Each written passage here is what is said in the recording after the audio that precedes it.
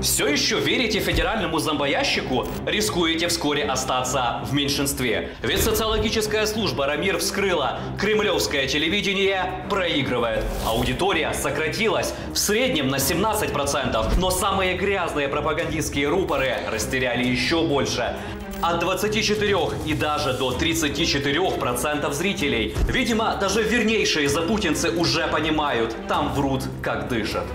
Все словно в сумасшедшем доме. А значит, верить им нельзя, ведь градусный адеквата взлетел до небес. Мы все придем и всех вас убьем. А это уже серьезная угроза путинскому режиму, привыкшему заменять убогую реальность яркой, но лживой телевизионной картинкой. Вот график популярности российских телеканалов. Сперва интерес к преступной войне против Украины, конечно же, взлетел. Но пропагандисты облажались, даже не хуже путинских вояк под Киевом. Прочь отсюда, уйдите. Уйдите отсюда. Рот сейчас закройте. Это ваша нацистская нынешняя Украина. Стали врать уж чересчур нагло. Балаган открылся для зоофилов. Вы представляете, для зоофилов в Дании официально работает. Можно прийти там, не знаю, черепаху изнасиловать. Это начало отталкивать уже даже ядерный электорат Путина. А теперь в новостях на Украине. В секретных лабораториях укрофашистов разработали специальных боевых гусей, которые сбивают российские самолеты. Итог. К маю пропагандисты профукали достижения первых месяцев войны. Вера в бредни Кремля медленно, но уверенно покатилась на дно. Лидер недоверия россиян – Первый канал. После февральского пика потерял целых 34% зрителей. Причем списать все на традиционный спад периода отпусков не получится.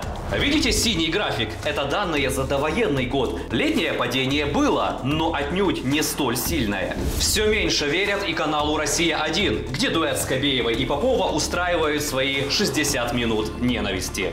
Абсолютно открыто, ничего не стесняй. Аудитория «Россия-1» упала на 24%. И главный позор пропагандистов. Их рейтинги проваливаются еще быстрее, чем телевидение в целом. А паства уходит на развлекательный контент. А значит, зрители таки начинают понимать, что Россия проигрывает переигрывает и пытаются отвлечься от горькой реальности. Социологи полагают, на прежний уровень рейтинги не вернутся даже осенью. И это лишь усилит уже многолетний тренд падения доверия кремлевскому зомбоящику. Но мы же Вова, сейчас не на телевидении, можно сказать правду. Прежде всего в Кремле теряют молодежь. При этом среди поколения X и поколения зумеров сокращение шло активнее, чем среди поколения Y. Россияне все больше ищут правды в альтернативных, неподконтрольных источниках. Среднедневный охват аудитории у телеграм-каналов за полгода вырос с 19,1% до 26,8%. Таким образом, на сегодняшний день телеграм-каналы читает больше россиян, чем смотрит телевизор. Но и тут стоит быть начеку. Кремль переносит лживую пропаганду в телеграм. Масса якобы независимых телеграм-каналов на самом деле льют все те же фейки и ненависть. Поэтому не дайте себя легко одурачить. Проверяйте информацию.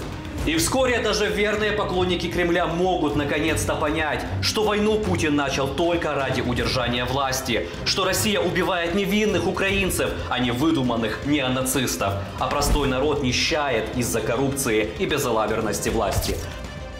Когда пропагандистский туман рассеется, страна наконец-то сможет получить шанс на лучшее будущее.